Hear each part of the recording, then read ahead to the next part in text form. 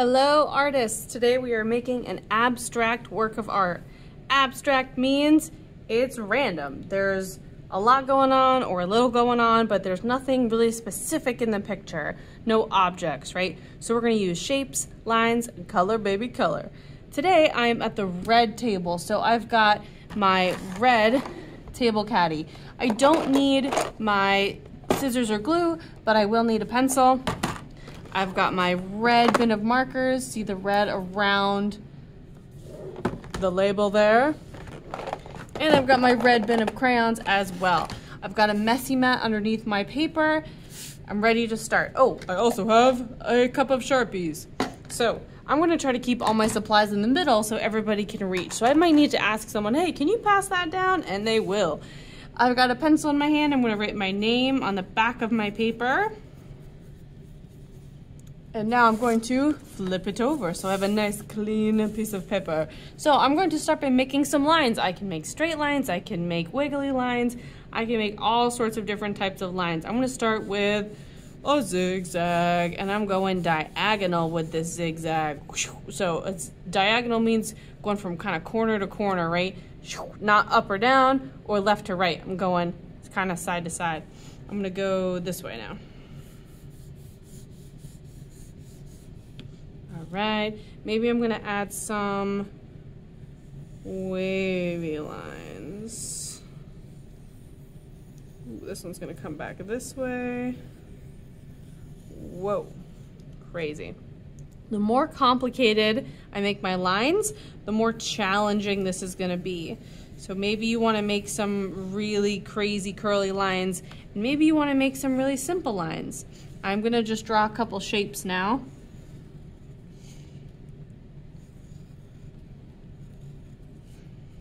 One of my goals is to fill up the whole paper with different designs. I'm practicing my different lines and shapes, looking for variety. Variety means a bunch of different kinds of things all together.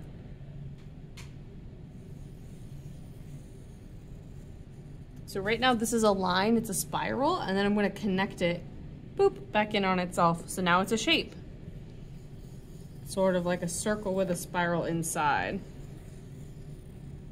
All right, so I filled up my paper with all these different shapes and designs. I'm gonna put my pencil back in the container. Sometimes people will take their pencil out, they'll use it, boop, and they drop it on their paper or over on their table. No, no, no, put it back when you're done so you don't have to do it later. I'm gonna grab a Sharpie because I feel like doing a little bit of tracing, tracing.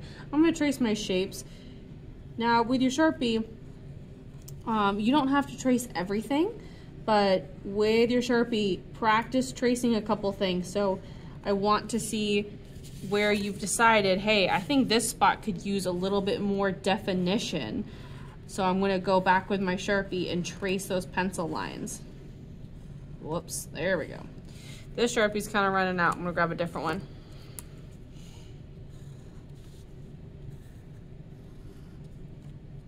Taking my time, covering up all those pencil lines. I'm gonna trace a little bit more and then I'll be right back. Okay, I traced quite a few pieces. I noticed there were a couple spots that I kind of missed my pencil line with my Sharpie. That's okay. I'm just gonna take my eraser and go back and erase that pencil line so I don't see it anymore. This will add a really nice, crisp, clean look to your work. So if you go back and erase your pencil lines, ooh, that is some art star behavior. That's some real snazzy stuff. All right, so I've got my Sharpies away, I got my pencils away. I'm gonna move those to the side.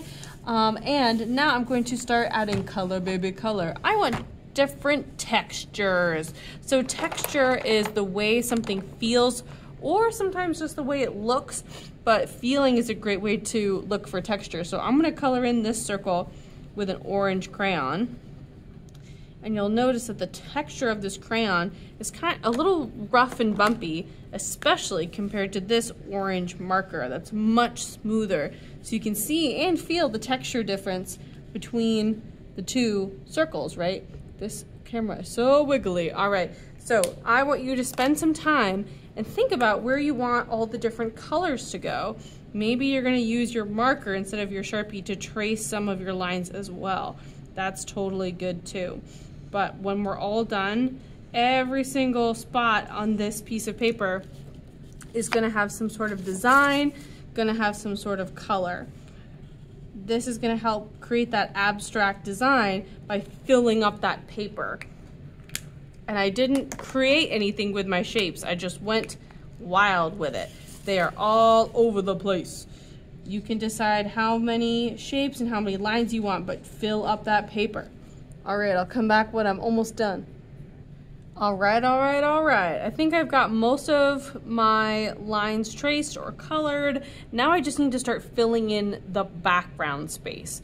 So I've got the foreground space, all the shapes, all the lines. Now I'm gonna start filling them in. I filled in the background a little bit here with some dots. I thought that looked cool. Of course, I'm a super messy artist and I've got a couple smudges here, but I'm not super worried about it because I know I can take my crayon and the crayon will just cover up any of those marker smudges so you don't really notice them.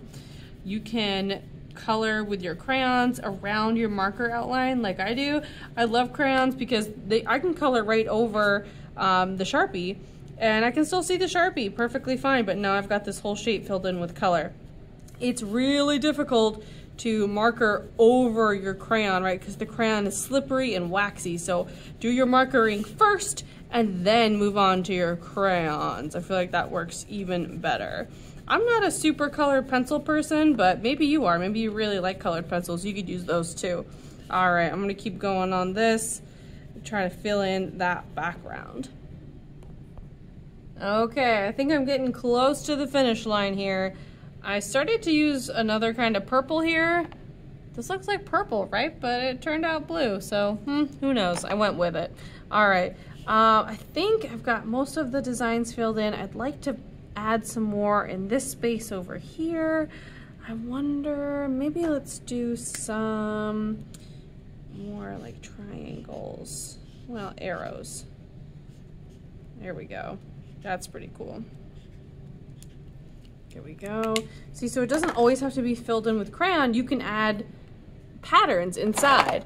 In fact, I hope you do. I'd love to see the different kinds of patterns you come up with.